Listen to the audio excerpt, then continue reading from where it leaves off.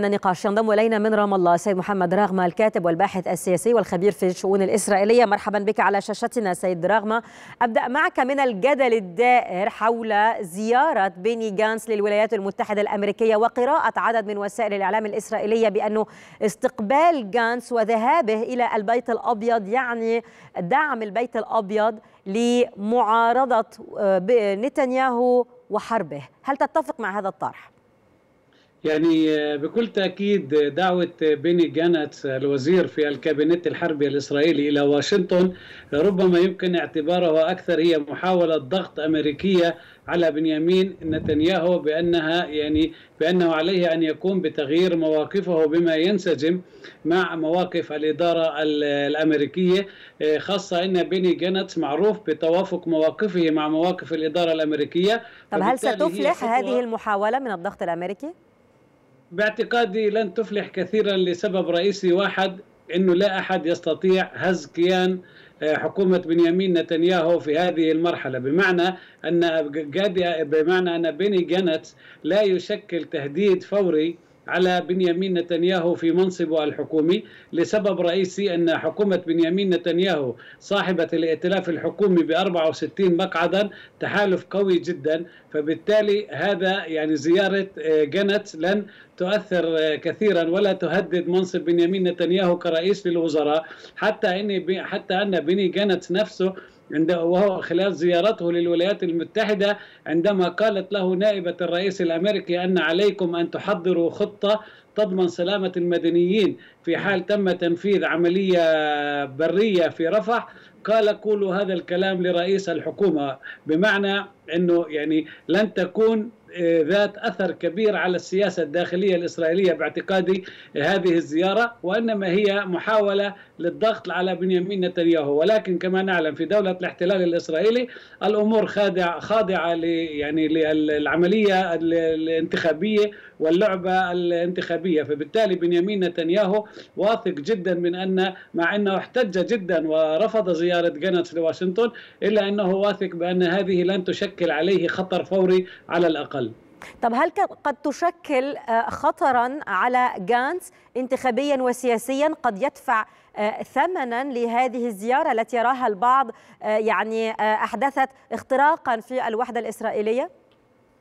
نعم بالضبط يعني أنا كنت من الناس الذين كتبوا بأن بني جنت لربما سيدفع ثمن هذه الزيارة في شعبيته يعني المرتفعة حاليا وهي 39 ل 40 مقعد في استطلاعات الرأي العام وباعتقادي أنه قد يدفع ثمن هذه الزيارة كونه خرج عن بين قوسين الإجماع الإسرائيلي في ظل الحرب وهذا يمكن يعني التعرف عليه في أول استطلاع على الرأي العام الإسرائيلي القادم خاصة إنه قوة بني قوة بيني جنتس في استطلاعات الرأي الإسرائيلية يمكن وصفها بالقوة الهشة بمعنى إنه دخول أي متغير على الساحة الحزبية الإسرائيلية الحالية يكون على حساب بني جنتس يعني في الاستطلاع الأخير الذي كان للقناة الثالثة عشرة حصل بني جنتس على 39 مقعد وحصل بنيامين نتنياهو وحزب الليكود على 17 مقعد نعم. ولكن عندما طرح الاستطلاع رأي فيما إذا قام وزير الحرب الإسرائيلي وهو من الليكود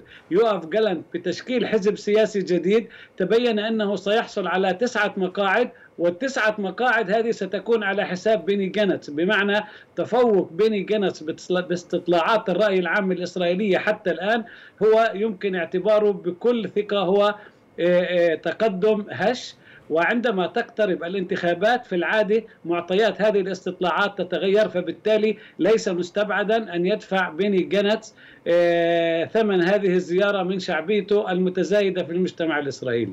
طيب إذا كان طبقا لتحليل حضرتك هذه الزيارة لن تؤثر على بنيامين نتنياهو سياسيا وانتخابيا ولا حتى لن تمارس عليه الضغط في هذه الحرب. هل ممكن يعني تسفر أو متوقع أصلا أن تسفر عن أي شيء فيما يتعلق بالملفات التي قيل أنه تم التباحث بشأنها؟